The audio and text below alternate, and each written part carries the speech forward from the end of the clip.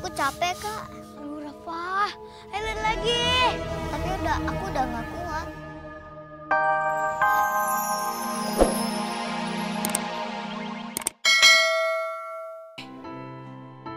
Tapi kok Rafa sama Ali jam segini belum pada pulang ya?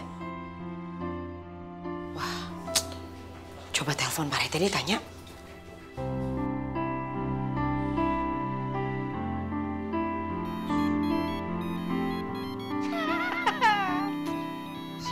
Buranti ada apa nih malam-malam begini nelpon? Mulai posesif kayaknya nih ibu nih. Biasa. Assalamualaikum, Buranti. Waalaikumsalam Pak Rete. Rafa sama Ali masih ada di situ nggak? Apa kabar? Hah? Ada berita apa ini teh? Hah, kelamaan ah. Orang biasanya juga tiap hari ketemu pakai nanya kabar. Saya teh nanya Rafa sama Ali masih ada di situ apa enggak? Ali sama Rafa itu dari sore sudah kelar belajarnya. Sekarang itu lagi di masjid eh, ngaji biasalah. Masa ke masjid sampai jam 8 malam gini Pak Rete? Kan sholat isanya juga udah kelar. Ah, namanya anak-anak lah. Kalau pulang kan suka mampir dulu jajan cilok, jajan cuanki, main. Heureuy. Biasa itu mah anak-anak berarti sabar aja, tenang ya. Ya Allah Pak Rete, emang dari masjid ke rumah berapa lama? Masjidnya di Cirebon, lama bener pulangnya. Ke mananya? Ya udahlah, sabar aja Bu Ranti. Namanya juga anak-anak. Kalau ketemu temen-temennya, kan nggak akan pernah puas mereka mau main-mainnya. Ya, sabar ya. Hah, main jam segini? Aduh, Hei, si Bu Ranti. Mendingan sholat isya dulu. Udah sholat dulu. Udah mamam belum Bu Ranti teh? ah Pak Rete ngapain sih nanya saya udah makan apa belum? Centil banget. Eh, Bu, ini teh bukan centil, cuma bentuk perhatian aja sama umat muslim gitu. Sama umat manusia kan harus saling memperhatikan. Saya nggak perlu perhatian dari Pak Rete. Lagian perhatiin warga juga nggak gitu-gitu amat kali Pak Rete, biasa aja alay. Eh, sabar atuh Bu Ranti, sabar. Mendingan sekarang sholat dulu biar tenang, reg-reg, ya. Nggak usah, saya lagi nggak mau makan malam, lagi diet biar cepet kurus. Duh, Rafa sama Ali ke mana sih? Halo? Halo? Ih, si Bu Ranti mah suka salah paham. Ini adalah salah satu bentuk perhatian dari RT terhadap warganya. Kalau sampai ada apa-apa sama warganya, kan RT-nya juga yang pusing, RT-nya juga yang sulit. Suka begini aja, jangan mentang-mentang janda dong. Itu suara apaan sih?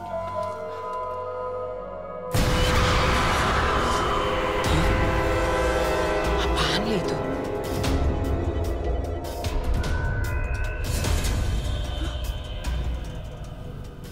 Eh, Kok nggak ada?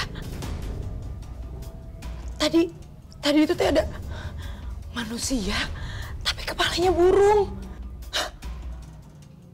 Masa sih salah lihat? Serem banget. Hah? Sekarang malah ada di belakang suaranya. Aduh. Eh, nggak boleh takut. Nggak boleh takut. Karena harus dicek. Karena jangan-jangan ada maling.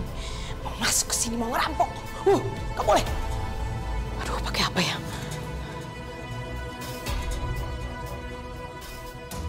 Teteh, teteu,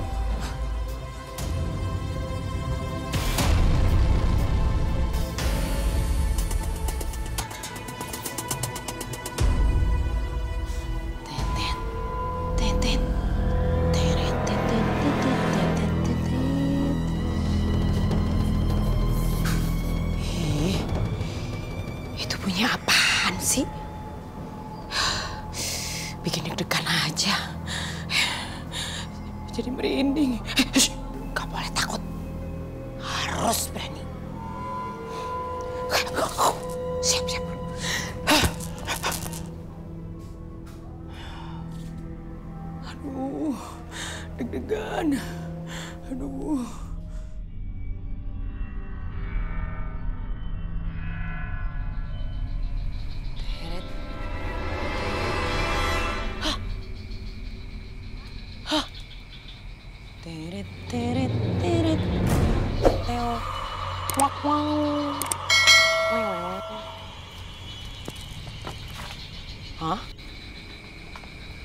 Allah. Ini naonan sih? Kok jadi pabalata kieu?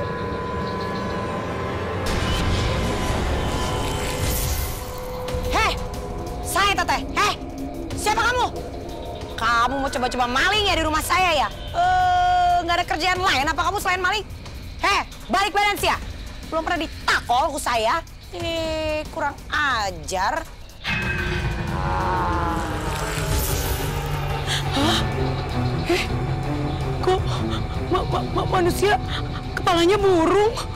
Hai manusia, beraninya kau membakar buku milik tuanku, kitab kuno yang agung.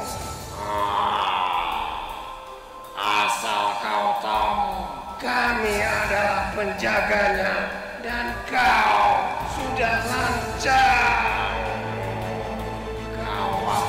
Mendapat balasannya. Anak-anakmu akan menjadi tumpalnya. Eh, eh, eh, kari juga, eh, kari eh,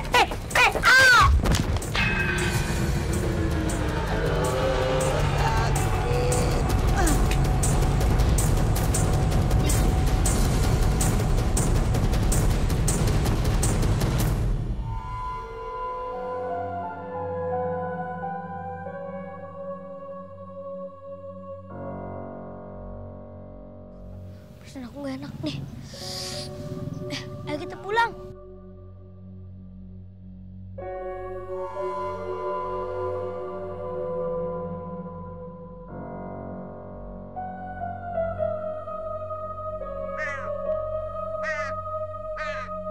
Kak. Suara burung itu apa sih, Kak? Seru banget. Aku merinding. Perasaan aku nggak enak. Iya, suaranya banyak banget. Kayak burung berkuak-kuak deh. Banget. Kak.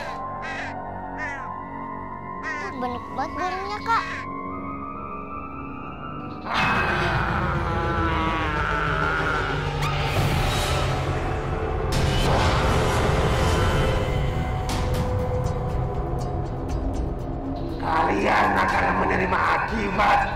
Dari apa yang ibu kalian lakukan terhadap kitab kuno Tuhan kami.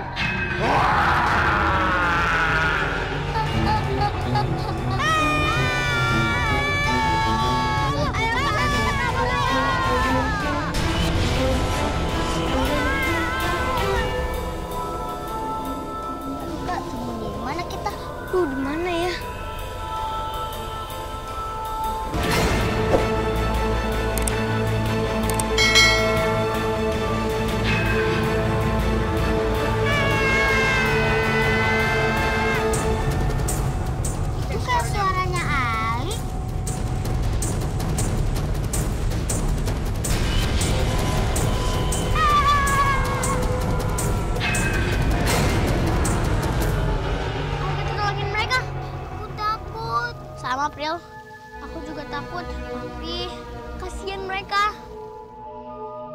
Aku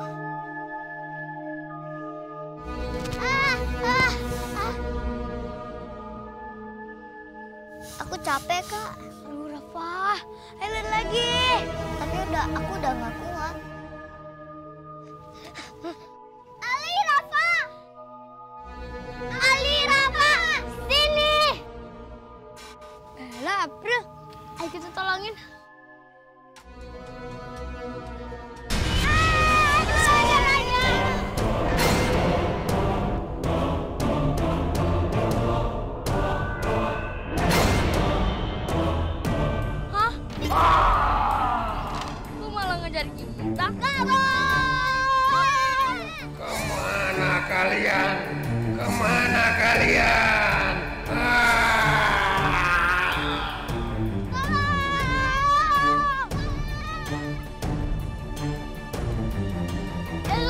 Eh lu, ada hantu.